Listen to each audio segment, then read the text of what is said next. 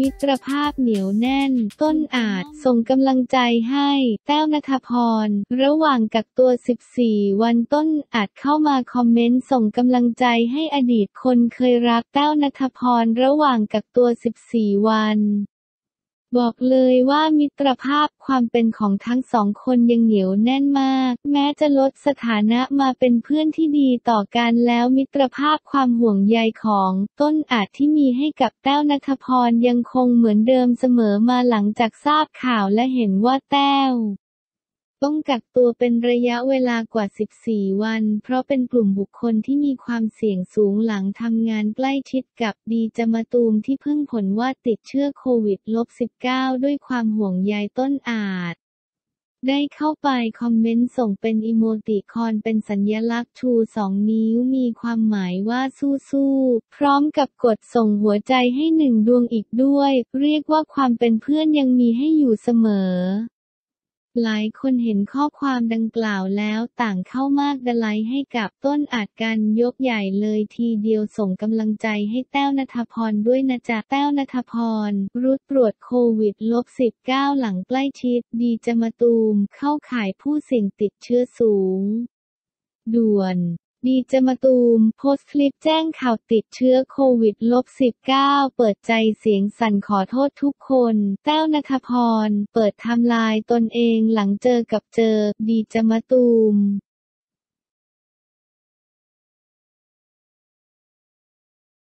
ดีเจต้นหอม เดือดโพสภาพข่าวถึงกับต้องร้อง เอียออกมาถึงกับร้องเอียหลายรอบกันเลยทีเดียวสำหรับดีเจต้นหอมสกุลตลาที่ออกมาโพสภาพข่าวที่อาจทำหลายคนเข้าใจผิด ซึ่งเป็นภาพทริปที่ดีเจต้นหอมนั้นไปเที่ยวทะเลกับเพื่อนๆ ซึ่งมีดีจะมาตูมด้วยนั้น พร้อมทั้งชี้แจงด้วยว่ารูปที่เห็นนั้นตั้งแต่วันที่ 3 มกราคม แล้วงานนี้ทำเอาดีเจต้นหอมเดือดจัดโพสต์ลงอินสตาแกรมทันที ซึ่งก่อนหน้านี้ดีเจต้นหอมก็เพิ่งเข้าโรงพยาบาลและตรวจแล้วไม่พบเชื้อโควิดลบ19ไปแล้วด้วย เอียเสมอต้นเสมอปลายหมายถึงท่าโพสกูเนีย เอียดีเนาะเอียเอียตัวตันมากเลยเห็นปุ๊บขึ้นมาคำเดียวเลยเอียอัศเจรี ใครถ่ายละไม่ยอมนับแน่เลยรูปเก่าแต่ข่าวมาผสมใหม่ ตอนนี้หุ่นดีขึ้นมานิดนึงแล้วนะคะหุ่นในรูปนั้นตั้งแต่วันที่ 3 มกราคมแล้วนะคะ ตอนนี้ผอมละนะเพราะเพิ่งออกจากโรงพยาบาลเพราะท้องเสีย และมอก็ตรวจโควิดไปด้วยเลยวันที่ 14 ที่ผ่านมาว่าไม่ติดซึ่งข่าวก็เคยลงไปอะเนาะอยากยืนยันว่าตอนนี้หุ่นดีแล้วแหวว แต่แค่รูปนี้หุ่นคือเอียไปหน่อยเอ้ยไม่หน่อยสิเอียมากกบ ก็เท่านั้นเองดาเอียก็ยังสงสารเอียห่ออเครื่องหมายสี่เหลี่ยมอยากให้ไอจีมีเสียงตอนอ่านอยากสเตแรดคำว่าเอียเยยเอียดังๆ ต้นหอม แจงทำลายไม่ได้เจอ ดีจะมาตูม มาหลายวันเผื่อคนร่วมงานกังวลใจแฟนๆห่วง ต้นหอม เข้าโรงพยาบาลด่วนแต่แคปชั่นหักมุมแฉบอยพิษณุอย่างฮา พี่ตูน ยกเค้กมาเซอร์ไพรส์วันเกิด ก้อยรัชวิน ครั้งแรกในรอบ 10 ปีทำเอาภรรยาอย่างก้อยรัชวินถึงกับยิ้มไม่หุบเลยทีเดียว เพราะหลังแต่งงานกับตูนบอดี้สแลม ก็ยิ่งเห็นมุมน่ารักของสามีที่มีความสวีทหวานมากขึ้นเรื่อยๆ อย่างล่าสุดที่ก้อยได้ออกมาโพสต์ moment สุดหวานในวันเกิด เรียกว่าทำเอาก้อยเซอร์ไพรส์ไม่น้อยเลย เพราะบอกว่าสามียกเค้กมาเซอร์ไพรส์ครั้งแรกในรอบสิบปีและได้โพสต์คลิปไว้ด้วย สามียกเค้กมาเซอร์ไพรส์ครั้งแรกในรอบสิบปี ตอนแรกนางออกตัวก่อนว่าไม่มีอะไรจะให้นะ ไม่ต้องรอเซอร์ไพรส์เพราะเล่นใหญ่ใช้โควต้าหมดไปแล้วเมื่องานแต่งก้อยก็บอกไม่ต้องให้อะไรแล้วไม่อยากได้อะไร แค่ขอให้พี่ตูนดูแลสุขภาพตัวเองดีๆ ก็เป็นของขวัญที่ดีที่สุดแล้ว สุดท้ายนางเดินถือเค้กมาให้และบอกว่าแอบบอกว่าไปสั่งมา ขอบคุณพี่ๆพนักงานค่ะเป็นลาบางกอกที่ช่วยเตรียมเซอร์ไพรส์และเค้กวันเกิดแสนอร่อยด้วยนะคะ ชอบัน มีมากกบกออาหารอร่อยบรรยากาศดี วิวริมน้ำเจ้าพระยาคือที่สุด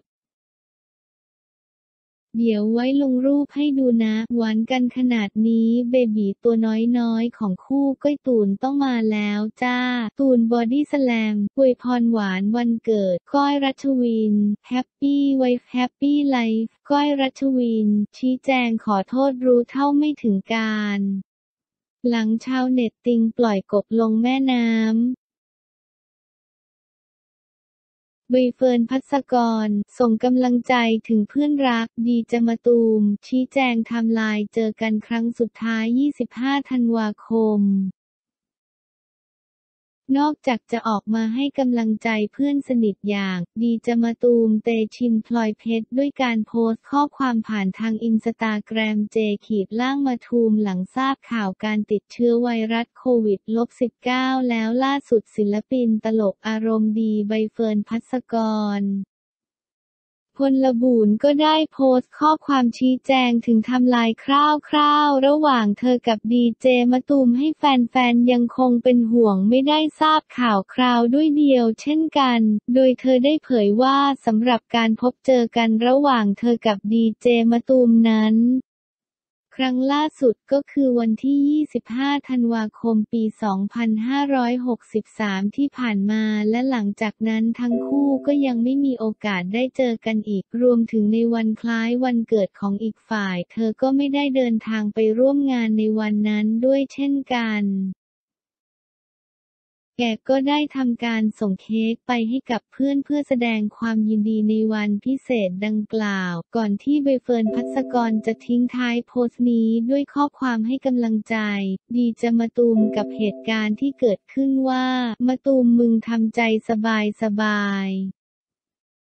มึงแข็งแรงอยู่กับหมอแล้วเดี๋ยวก็หายนะกูรักมึง ใบเฟิร์นพัสกรโพสต์ส่งกำลังใจให้ดีเจมะตูมไอจีเฟอร์โนขีดล่างแพดกรใบเฟิร์นพัสกรโพสต์ส่งกำลังใจให้ดีจะมาตูมด่วน